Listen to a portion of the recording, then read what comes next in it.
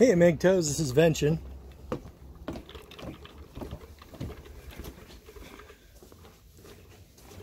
Finally got rid of that scooter. Well, big things happening lately. Um, as you guys are aware, I have friggin' cancer. And I didn't really want to bring you up to date until I knew more about the situation. So I thought I would um, throw that out there. But the the one constant advantage of being a MGTOW in a situation like this is that I don't have anybody uh, really moaning or nobody who's like financially dependent upon parasiting off of me. so I don't have anybody who's like terribly full of anxiety and like in terror for her own well-being um, because I have cancer, right? Um, I have family who are concerned and friends who are concerned. And I got to say, everybody at work, um, all of my fellow mechanics and my foreman and my lead mechanics, uh, they are, they have just all been awesome. You know, they're doing, they're, one of they're saying that uh, if I am like uh, obliterated by the chemo or something and I can't work something like hard, like a, like an in-frame or something, that they'll uh, find me a job that I can do, you know, which is, uh, which was really cool. I mean, in some situations, I, I, I'm often put in working with mechanics who are not familiar with like engine work or um, electrical or troubleshooting of various things that, but they would still have all their energy and I might be in a situation where I don't have mine. So it's kind of kind of nice. And plus I've got seven weeks vacation so far, well, built up. So I should be okay. So yeah, the profound advantage of one of the advantages of the MGTOW lifestyle is that in a situation like this, hey Dan, how you doing? Don't say my name. Pretty good. oh, no name. Thank you. In the past, he has gone, hey, how's it going? Blah! I said, oh, sheesh, delete. okay, I'm going to pause you for a second.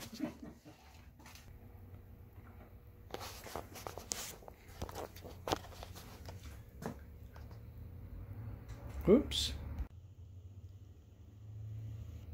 Okay. Well, oh, we were, my dad and I were just discussing his um, his options as far as renting a place, and uh, he was looking at a nice place for about eleven hundred dollars a month, a nice house in a in sort of a smallish town here in Western Washington, and about eleven hundred dollars a month. So that, uh, and he takes home with his retirement, he takes uh, 2,800 home. So uh, it would put a take a chunk out of his earnings, but it would be hard for him to find as good a deal as he's got here because I don't charge him any rent. All we do is just split utilities. But in any case, um, yeah, back to the cancer thing. So we've got, um, I had a um, I went ahead and uh, got the first, I got the colonoscopy and it was a big ugly tumor. Maybe I'll splice it in if you guys don't probably don't want to see that. And then um, after that, I was referred to a CT scan, which is sort of a mediocre res uh, scan, which can show a few things like uh, it showed the uh, problem or a couple of things in my liver as well as in my colon. So, um, and right about then, no, and then uh, after that, I was referred to a surgical doctor who, uh, who basically uh, uh was talking about, you know, the possibility of getting it uh, surgically removed.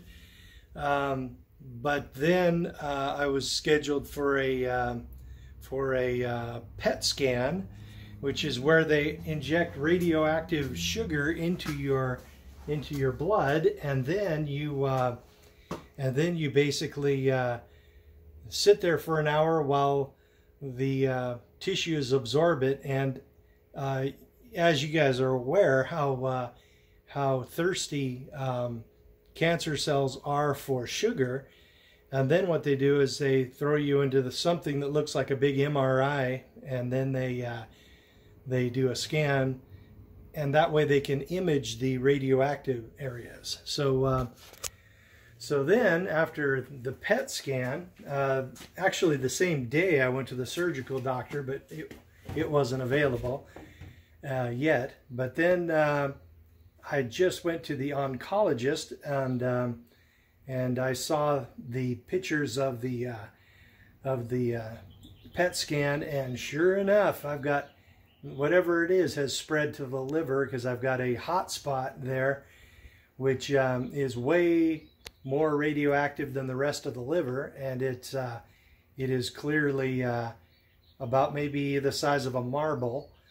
So um, then on top of that, I have, of course, the one in the colon, which is the worst. You know, it's like rating 12, and the one in the liver is rated 6, I think, uh, as far as hotness goes.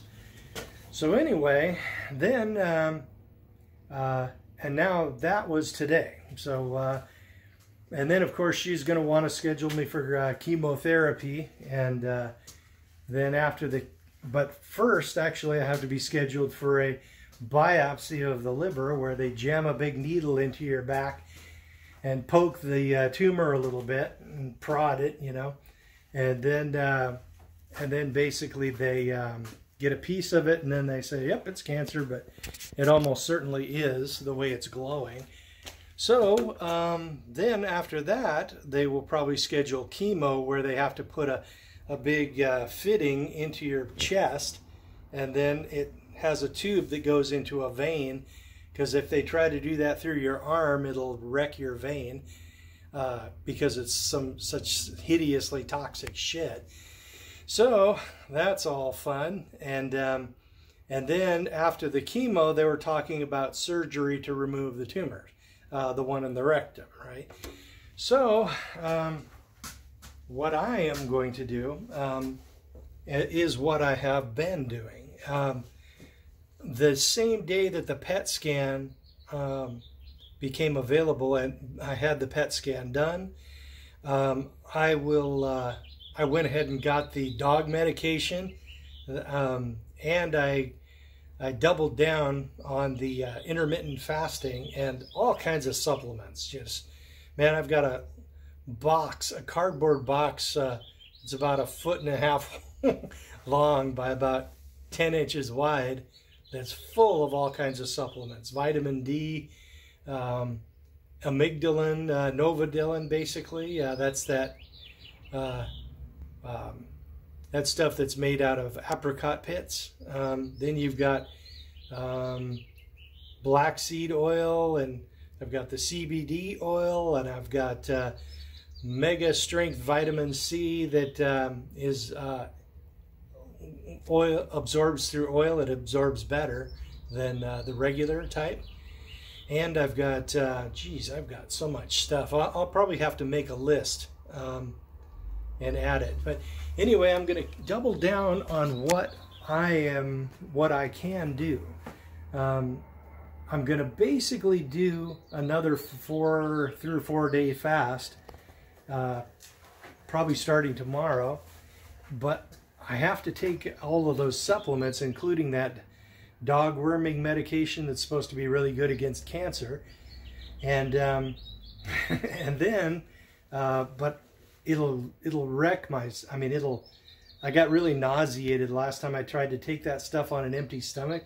So I'll have to take a little something, maybe a couple of eggs in a cup or something, um, to buffer it. So that'll effectively make a five day fast. It's almost sort of a combo between an intermittent fast and a uh, and a real serious fast.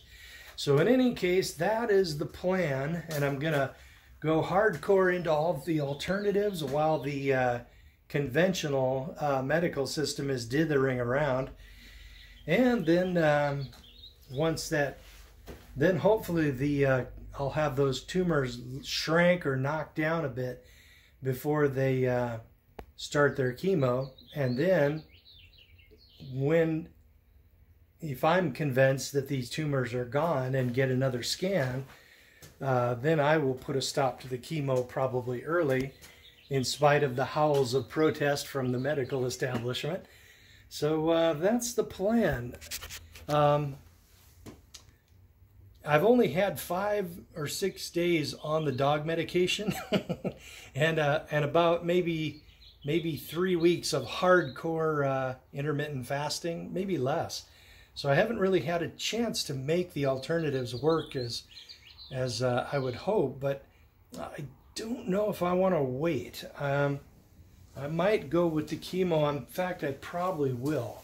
So uh, yeah, that's what uh, that's what we're up to up here at the Vention House. It's lovely news. But as I was saying, if if you don't have a, a woman and her children, not not necessarily yours, um, to support, and you don't have all of that extra stress of of her moaning and wringing her hands and saying, "I'm really concerned for you, Vention," meaning I'm really concerned for my income and my well-being and status, you know. Um, so, um, yeah, uh, they might feel a little something. It's hard to tell, but probably not much. As as we all know, women women don't really love men uh, the same way. You know, we uh, blue, when we're blue pill guys, we can love them like unconditionally. Um, it just doesn't work that way. Um, they are just not set up for it, and it's uh, better not to expect that of them because you're going to be disappointed. But now I have like massive surplus income, massive savings, uh, paid off house, vehicles paid off. I can live comfortably on like, I live comfortably on way less than probably less than 1400 a month considering I have to pay 300 a month for property tax on this place. Um, so yeah, it's a huge amount of that is one stressor, the money thing that a lot of guys who do who are undergoing what I'm going through, um, and plus they are have to deal with, and plus they are um, overloaded as far as their time and their their requirements for um, constantly courting their wife to keep her from from monkey branching to some other guy. Um, and he has to hold all of that down. And on top of that, then he gets cancer too. Shit, I'd be ready to freaking eat a bullet in a situation like that. so, um, yeah. Um, Things are not great at the Vention house, but so far so good. We shall see how it goes. Wish I could give you better news, but it's not. It could be a lot worse. So don't get married.